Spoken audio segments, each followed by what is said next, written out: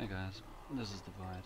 Um, due to a couple of requests, um, I'm going to show you the build I came up with in the recent Tempest League. I call it the um, RFM vacuum cleaner, and the core items are uh, Mjölner, Empire's Grasp. The Mjölner we are using Ball Lightning, uh, Shock Nova, and Quality Knockback. For the Cyclone we're using Curse on Hit, Ele Weakness, Fortify,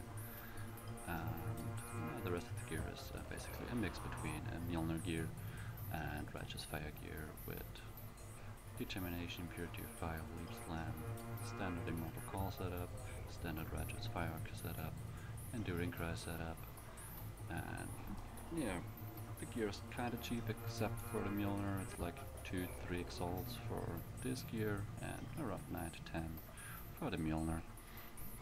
For the stats, have 91% um, uh, chance to knock back with Ball Lightning and Shock Nova, and 73 for Cyclone.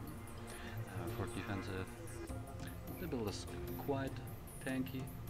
If I pop a granite, I got a 43k paired with 45 and up to uh, 5 endurance charges.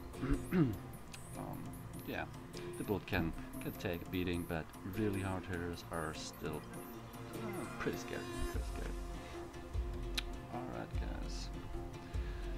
for the skill tree, it's basically um, a Righteous Fire skill tree with a few adjustments.